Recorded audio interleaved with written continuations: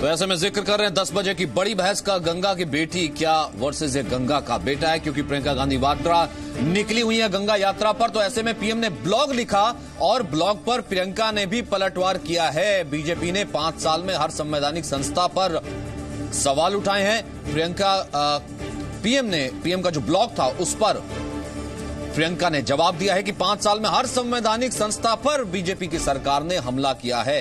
PM ने वंशवाद का आरोप लगाया था। पीएम ने वंशवाद पर सवाल उठाए थे। उस ब्लॉग में ज़िक्र किया था कि ये देश अब कहीं ना कहीं परिवार तंत्र से बाहर निकलना चाहता है। इसका जवाब पिछले इलेक्शन में दे दिया गया था।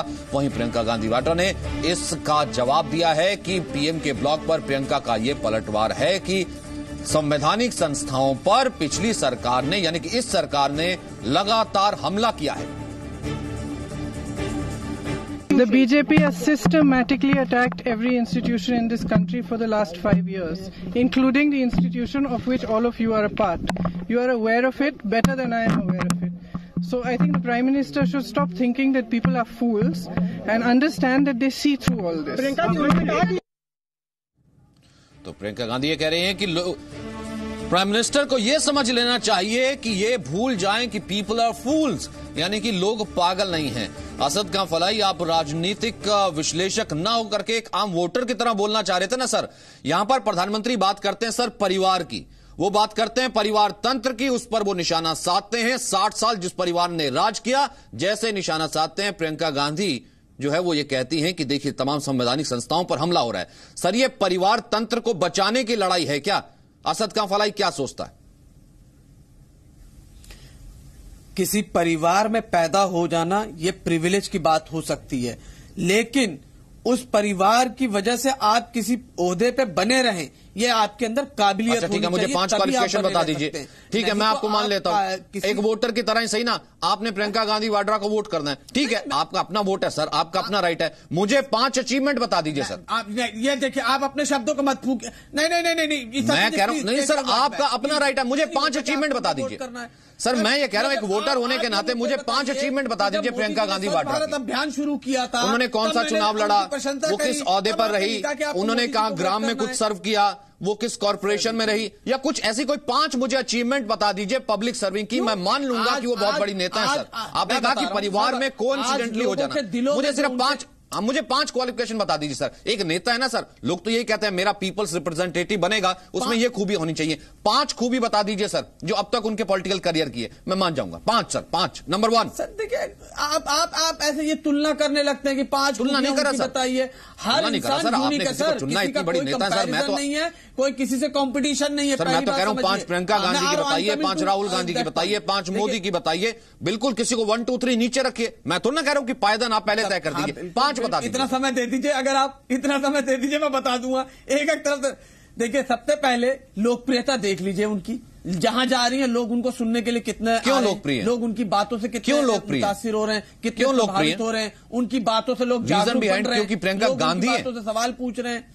ठीक है नहीं लोकप्रिय होने का क्या? उन्होंने इससे पहले पाँच साल कोई सर्व तो किया है विधायक रही है उन लोगों की एमपी रही है मतलब क्या? आप बार बार लोकप्रियता का कारण होता है ना सर कितनी बार कोई बॉलीवुड सुपरस्टार तो है नहीं।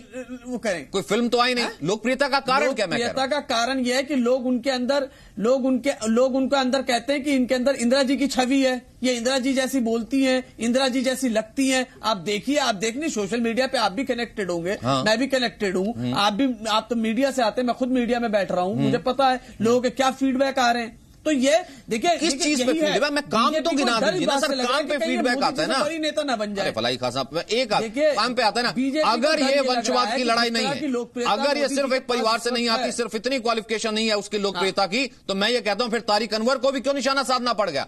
क्यों फिर ऐसा है कि परिवार के साथ जुड़ी जो पूरी पार्टी है उनके लोग बचाने आ जाते हैं? अब तारिक अनवर भी कह रहे हैं। ये देखिए पीएम पर उन्होंने एक विवादित बयान दे दिया। तारिक अनवर ने यह कहा है क्योंकि पीएम ने वंशवाद की बात कही थी परिवार तंत्र की बात कही थी तारिक अनवर ने तो यहाँ तक कह दिया पीएम मोदी का तो कोई वंश ही नहीं है। उनका तो कोई वंश ही नहीं है।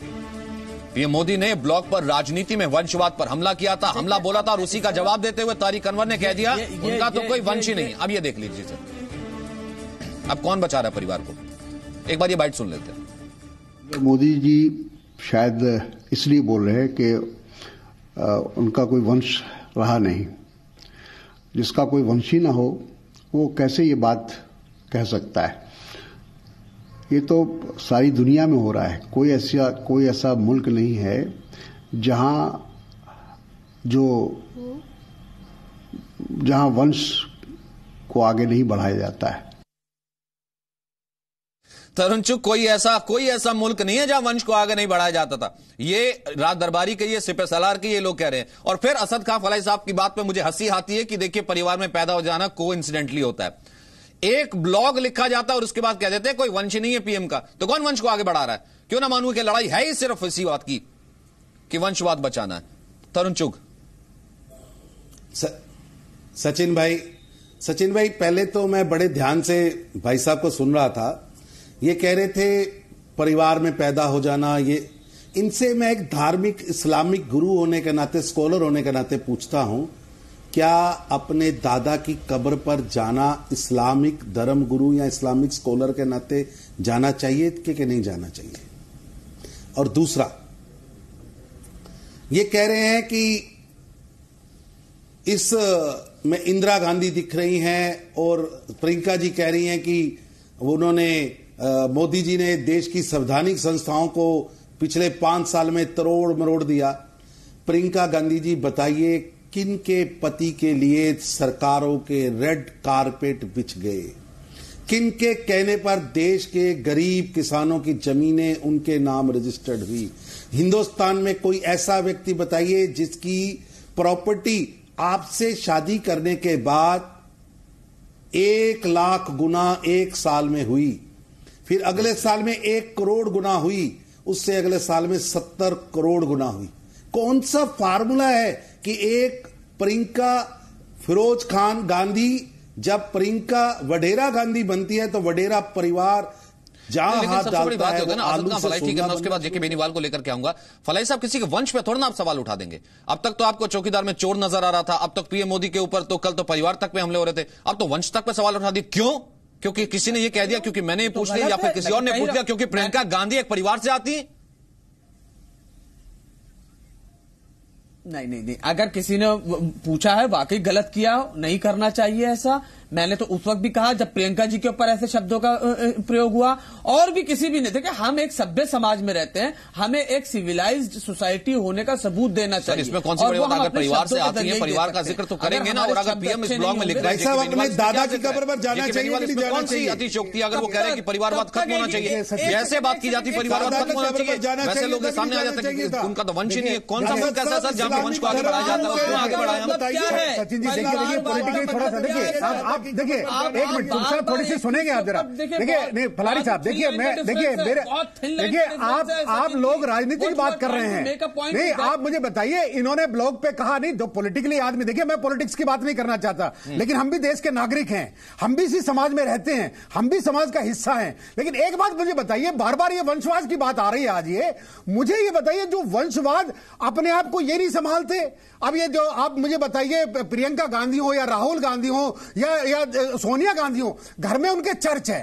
अब ये भी ज़िक्र हो रहा था आपके टेलीविज़न पे वहाँ पे मजार का ज़िक्र आ रहा है अपने अपने दादा की मजार है। मुझे एक बात बताइए ना मेरी ज़िम्मेदारी क्यों है कि हम क्यों वंश को आगे बढ़ाए? हम वंश को बिल्कुल मेरे को एक बात बताइए ना कि मैं इस देश में टैक्स देता हूँ एक बात बताइए ना मैं इस देश में टैक्स देता हूँ मैं जो कह रहे हैं मैं इस वंश को क्यों आगे बढ़ाऊं? देखिए फिर भी मैं जवाब देता हूँ हमारे देश के प्रधानमंत्री का अरे उनके जो छह भाई हैं बहनें हैं माँ है और आपने देखा है लेकिन वो ऐसे नहीं है वंशवाद वाले जो प्राइम मिनिस्टर के घर में लेके आ जाए। अब्दुल अजाक मैं क्यों ना मानूं कि क्यों मैं क्यों ना मानूं कि ये डर है कि वंश खत्म हो जाएगा। मैं क्यों ना मानूं अब्दुल रजाक की ये डर है कि इस चुनाव में अगर हार गए तो उसके बाद परिवार का कोई नंबर आएगा ही नहीं इस कारण से वंश को बचाना है। और हम क्यों बचाएँ sir? We are tax payer जो काम करेगा उसको वोट देंगे। वंश को बचाइए हर मुल्क में बसता है। क्यों कह रहे तारीख अनवर? सचिन जी जब प्रियंका गांधी का इंडक्शन हुआ था उत्तर प्रदेश में वेस्टर्न रीजन में सिर्फ़ एक छोटा सा पीस उनको दिया गया है। कोई पूरे देश के लिए उनको बड़ी नेता बनाकर नहीं लाया गया है। और सब में टफेस्ट पार्ट यूपी में जहाँ पर कांग्रेस का बहुत बुरा परफॉर्मेंस रहा पिछली बार वैसी जगह से उनको लाया गया है। और प्रियंका गांधी जी का इलेक्शन कोई नहीं गांधी परिवार से आती है। या उनकी कोई क्वालिफिकेशन है वहाँ पर उन्होंने पूर्वी उत्तर प्रदेश में कुछ बहुत ऐसा काम किया पानी लेकर के आई किसानों की समस्या पहली बार क्यों लाया गया? मुझे बात बताइए यही लाया गया ना क्योंकि प्रियंका गांधी है जो कि आप वाड़ रहे हैं। सचिन जी क्या ये पहली बार प्रियंका गांधी जी चुनाव में उतरी हैं? क्या ये पहली बार काम कर रही तो है पार्टी के लिए? आप कह रहे हैं कि इतनी पहले सीट पर लाया गया कोई क्वालिफिकेशन तो होगी ना क्यों लाया गया? अब्दुल sorry. रज्जाक अगर उसमें इन्वेस्ट कर रहे हैं तो मुझे क्वालिफिकेशन तो बता दीजिए ना अपनी नेता की। अरे सचिन जी हिंदुस्तान में पॉलिटिक्स के लिए कोई क्वालिफिकेशन की ज़रूरत नहीं होती। कोई चाय वाले भी जब प्रधानमंत्री बन सकते हैं फिर उसके बाद अपने आप को चौकीदार बना ले सकते हैं कभी फकीर बना ले सकते हैं कभी कुछ और बना ले सकते हैं तो देश के अंदर कोई क्वालिफिकेशन की ज़रूरत नहीं होती। वंशवाद की बात सिर्फ़ कांग्रेस में नहीं है। क्यों दूसरे पार्टियों में वंशवाद नहीं गांधी है बीजेपी में नहीं है? राहुल गांधी क्वालिफिकेशन नहीं है क्या? और फिर फिरोज गांधी की सचिन जी कब्र पर पहले ना जाना। अनुभव रहा है। क्या सिर्फ़ इसी बात का हिस्सा नहीं है क्या? जवाब देना चाहते हैं उन्होंने बैकग्राउंड बहुत सारा साथ दिया है स्ट्रैटेजीज बनाई है और उनकी स्ट्रैटेजीज पर कांग्रेस जीती भी है उनसे फ़ायदा भी हुआ है। इसी के लिए इस बार लाया गया है। ऐसा नहीं कि वंश खत्म हो जाए कांग्रेस खत्म ठीक है तरुण चुग संक्षिप्त में थर्टी सेकेंड्स ऐसा है कि आज सबसे ज़्यादा कमज़ोर स्थिति में कांग्रेस है। विद इन कांग्रेस एक चैलेंज है और प्रियंका गांधी जी को वो कितनी बड़ी नेता हैं, वो इससे अंदाज़ा लगा लीजिए कि कांग्रेस पार्टी ने उनको एक यूपी भी पूरा नहीं, यूपी में भी एक रीजन का महामंत्री बनाया है। और घोषणाएँ, इस तरह प्रोजेक्ट किया जा रहा है। अरे भैया, वो यूपी से बाहर जाने के तो उनको राहुल जी इजाज़त नहीं दे रहे, क्योंकि उनको लगता है उनके लिए चैलेंज हो जाएगा। अगर वो जाती हैं अहमदाबाद तो उनको पिछली रो में बिठाया जाता है, कहीं राहुल का चेहरा छिप ना जाए ओवर शेडो ना हो जाए। लेकिन दूसरी तरफ़ मेरे मित्र ने कहा नरेंद्र मोदी जी ने इस देश के अंदर एक सफल राजनेता, एक सफल मुख्यमंत्री एक काम करने वाला गुजरात को फलाई साहब इसी चीज़ का डर है क्या? इस कारण से आप भी पैरवी करने लगते हैं प्रधानमंत्री धर्मगुरु होने के नाते भी परिवार के साथ खड़े हो जाते हैं। किस चीज़ का डर है सर? हमें कोई फलाई साहब किस चीज़ का डर? यही पार्टी है ना जो कहती फिरती थी कि हम मुसलमानों की पार्टी है माइनॉरिटीज पर पहला हक है सर आज तो किसी मस्जिद जाती नहीं मुसलमानों को चूस लिया यानी उनका वोट ले लिया। अब वो चाहिए नहीं। आपको तो कंडेम करना चाहिए सर। का चयन बहुत सही होना चाहिए। ये ये घोटालेबाजों को चोरों देखिए परिवार बादल परिवार पे ये लोग क्या कहेंगे बताइए और ये मंदिर मंदिर की बात कर रहे हैं। 2014 से पहले तक अरुण जेटली जी रोज़ाना गोल्डन टेंपल जाया करते थे। अब नहीं जा रहे हैं। तो आप क्या कहेंगे इसके ऊपर? आप अपनी सुविधा के हिसाब से बदलते रहिए कि जब ये लोग करें तो अच्छा काम कर रहे हैं। और यही लोग करें तो गलत काम कर रहे हैं। कांग्रेस करे बीजेपी करे मुझे उससे कोई अंतर आप नहीं अमृतसर है में मेरा काम है सच बोलना। चाहे वो कांग्रेस के खिलाफ जाए चाहे असल में- बेनीवाल साहब इससे पहले अगर मस्जिद मस्जिद जाते थे इसका मतलब आप वोट नहीं चाहिए ना। अब मुझे नज़र नहीं आ रही इसलिए मैं सिर्फ़ सिंपल अब ये मंदिर मंदिर की बात कर रहे मैं वैसे कह रहा हूँ। अरे सचिन जी आपका जी चैनल तो सबसे ज़्यादा रहा है कुंभ के अंदर। इससे बड़ा कोई कुंभ का मेला कोई दुनिया में होता मुझे बताइए कौन सा परिवार गया था वहाँ पे? अरे ये देश को मत बांटिए। देखिए हिंदू मुस्लिम कर करके सत्तर साल से आप बांट रहे हैं। और सत्तर साल के बाद 2014 से सारी बाढ़ आ गई है। गरीबी भी 2014 के बाद आई है।